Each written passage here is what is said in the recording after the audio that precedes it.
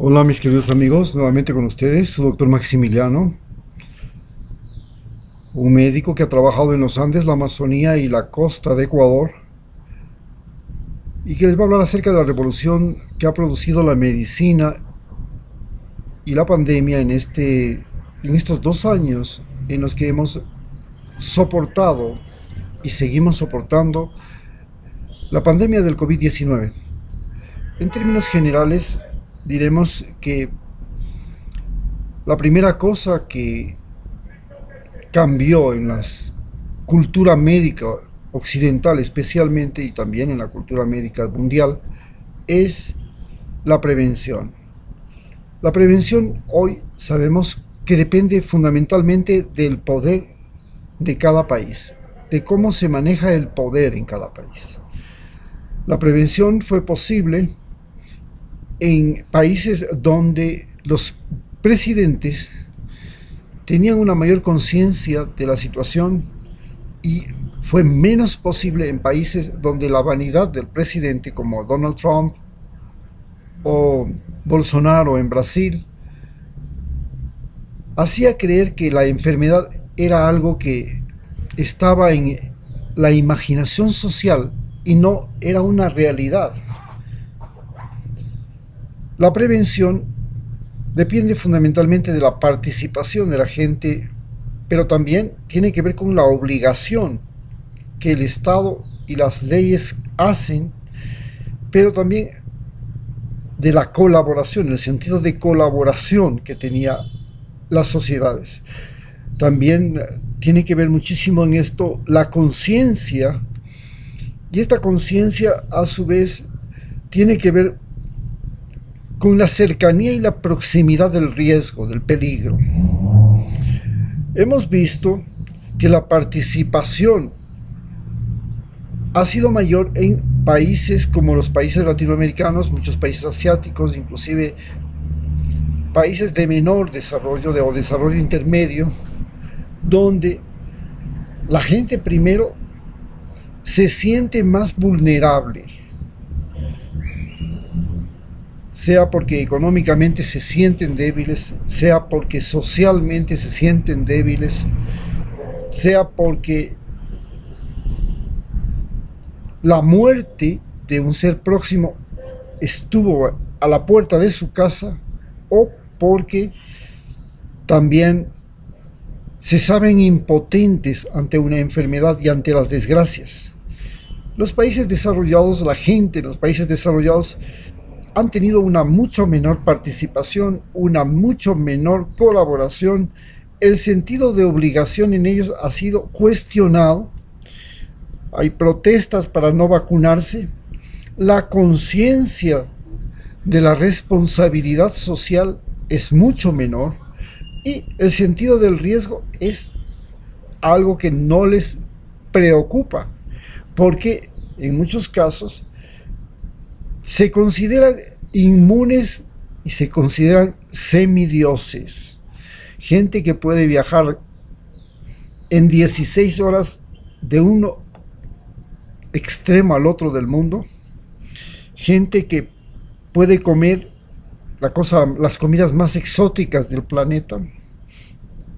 Gente que puede disfrutar de todo lo imaginable y en ese momento, cuando todo está a su alcance,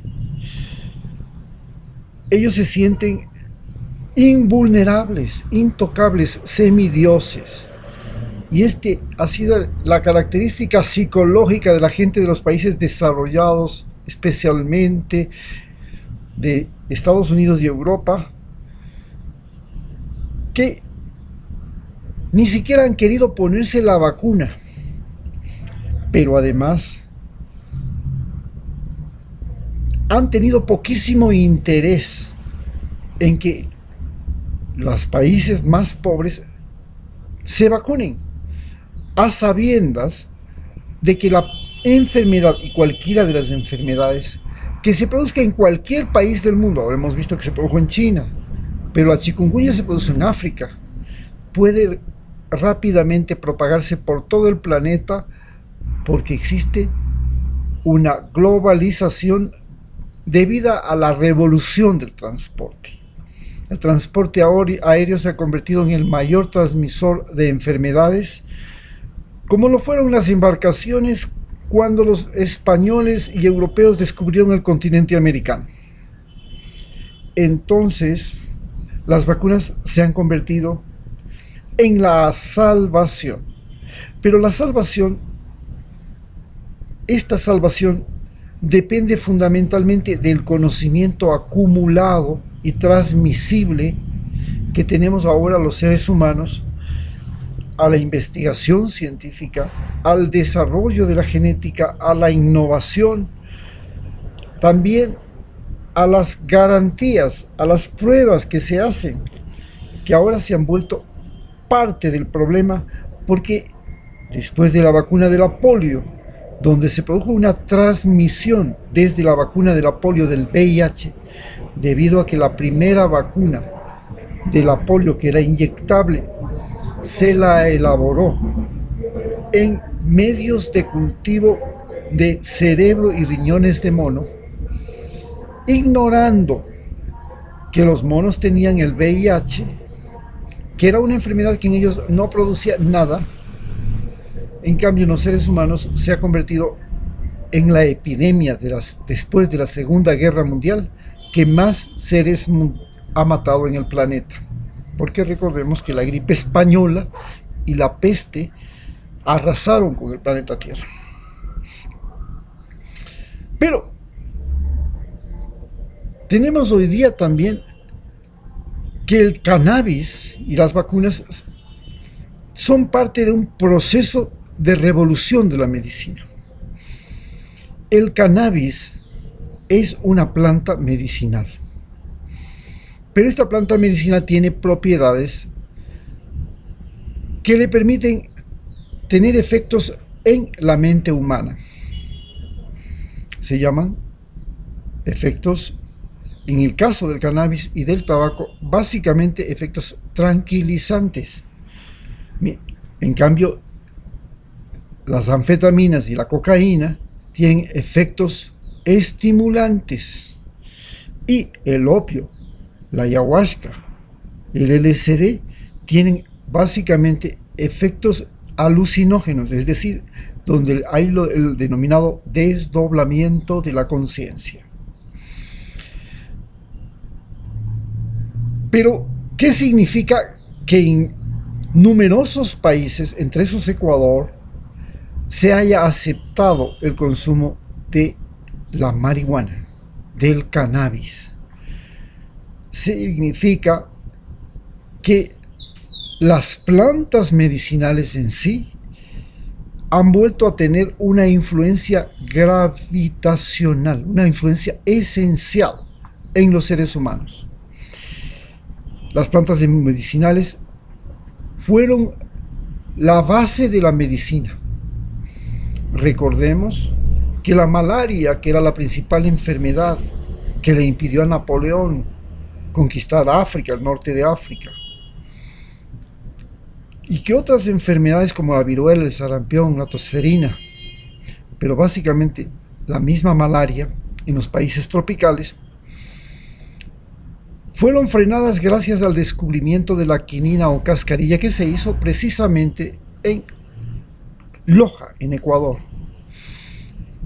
Y fue la cascarilla la que cambió la medicina porque por primera vez en la historia había un medicamento, un solo medicamento para combatir a la peste de la malaria.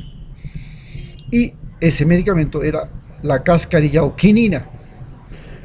En la Segunda Guerra Mundial, los alemanes fueron boicoteados por los ingleses que tenían el monopolio de la quinina y desarrollaron la cloroquina.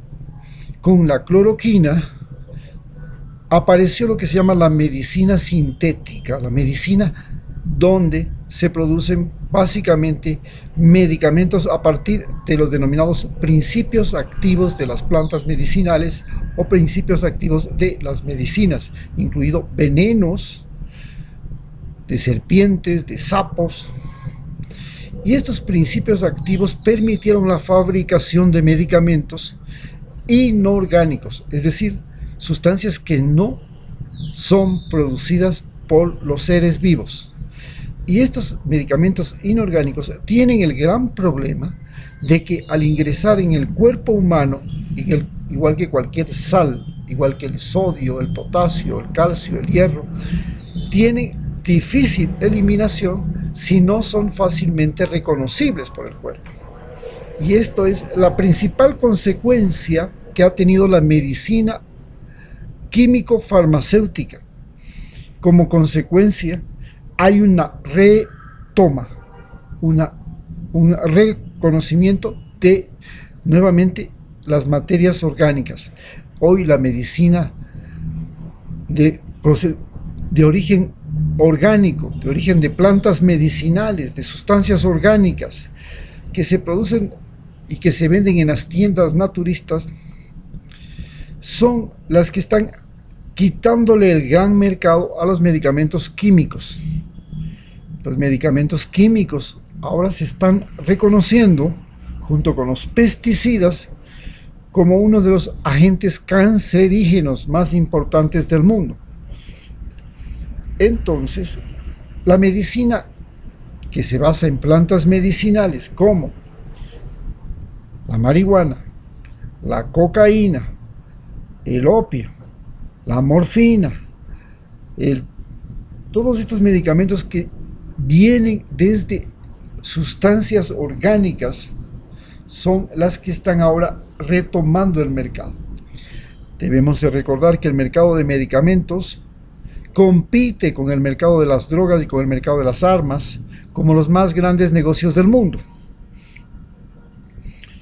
Y el negocio de las drogas inclusive compite con la industria médica porque el negocio de las drogas, como el opio, la marihuana, son productos que se producen artesanalmente en cualquier esquina, en cualquier barrio, en cualquier lugar del planeta Tierra.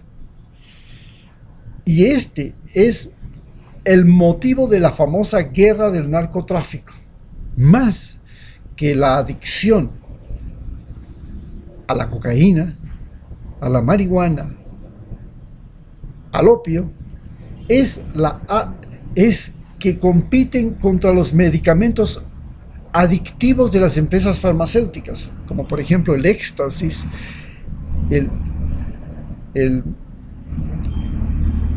y otros como las mismas anfetaminas, las, el, el ácido lisérgico, el LSD, que son medicamentos sintéticos.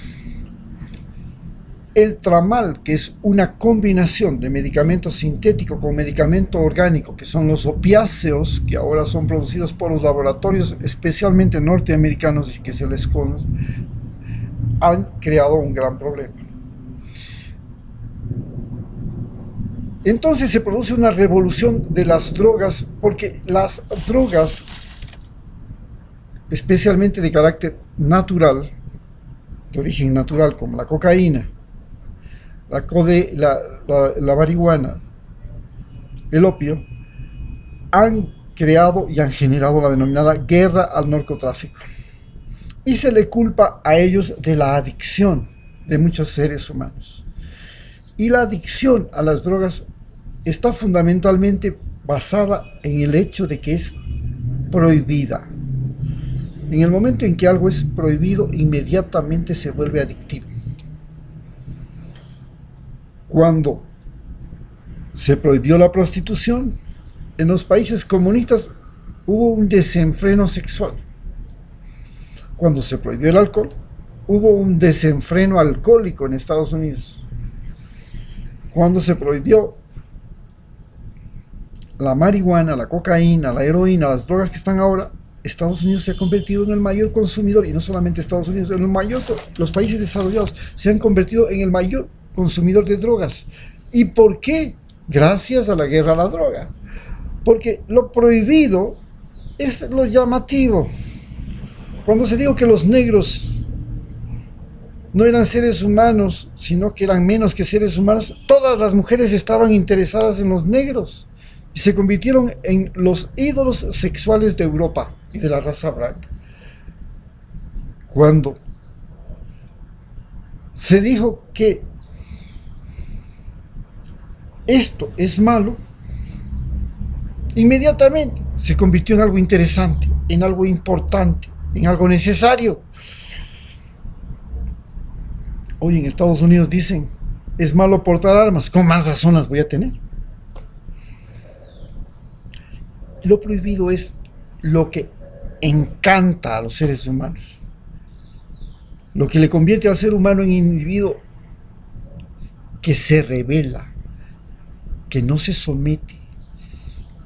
Y esto es lo que ha hecho que la guerra a las drogas sea una guerra perdida,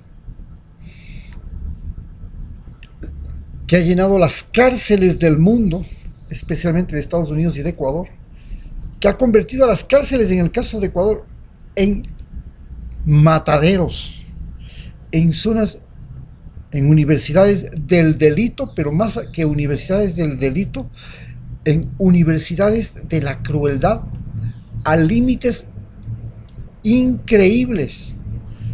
Esta es la verdadera vivencia. Hoy, con la legalización de la marihuana en Ecuador, que todavía es un cuento, porque hay un montón de obstáculos, hay un montón de prejuicios, es más o menos como lo que pasó el día que se legalizó el divorcio. El día que se legalizó el divorcio se dijo que todas las mujeres iban a volver putas. Y ahora en Chile hay un presidente y un candidato que quiere echar abajo el divorcio, que quiere que las divorciadas ganen salarios menos que las casadas. Esto es parte de este gran problema generado precisamente por la pandemia, por las vacunas y por la legalización de la marihuana.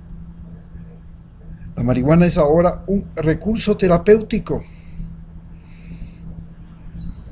Podemos utilizar la marihuana como analgésico, como tranquilizante, como antiepiléptico, para combatir el Parkinson.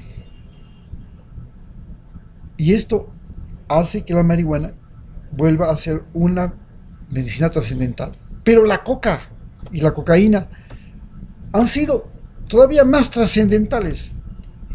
Recordemos que de la coca y de la cocaína se sacó la silocaína, la procaína, y que estas son anestésicos muy importantes que los utilizamos todos los santos días para suturar, para sacar dientes, y se originaron de ahí.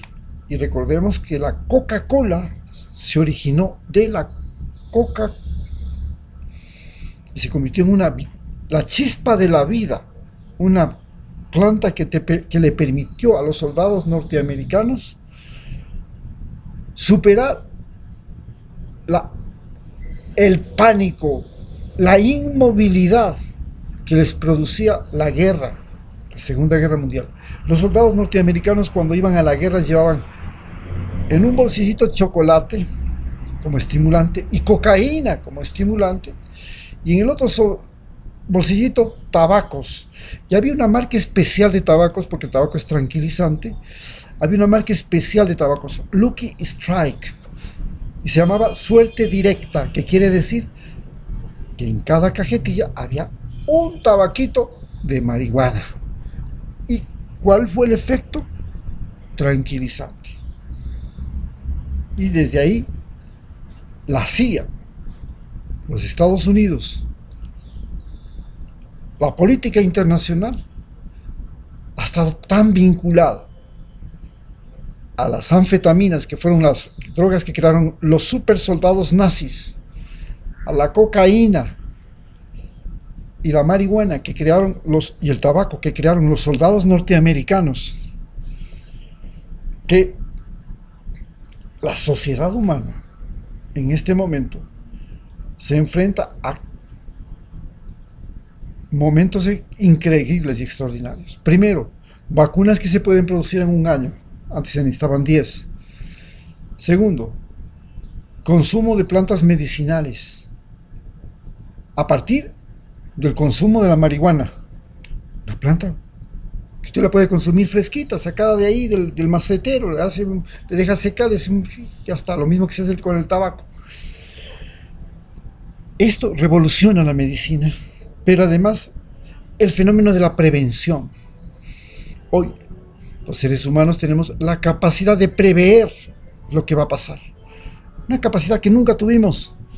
Podemos prever los desastres naturales, la llegada de los huracanes, podemos prever el oleaje, podemos prever el tiempo bueno, el tiempo malo, podemos prever el deshielo, podemos prever casi todo, hasta los mismos accidentes de tránsito. Y ha creado la medicina preventiva. Y ahora la medicina preventiva está tratando de sacarle a la medicina curativa, que es el gran negocio, las cirugías, los tratamientos. Y se trata ahora de utilizar la medicina preventiva. Y la medicina preventiva comienza con cosas tan simples como el agua potable. Tomar agua potable la canalización, las aguas servidas, la eliminación de basuras, ahora la eliminación de plásticos, ahora la menor producción de aire contaminado con CO2 cancerígeno. Acordémonos que se eliminó el plomo de los combustibles porque ese era cancerígeno. Y entonces esta medicina preventiva es también parte de esta gran revolución que se está produciendo dentro de la gran medicina del mundo. Post pandemia. Muchas gracias.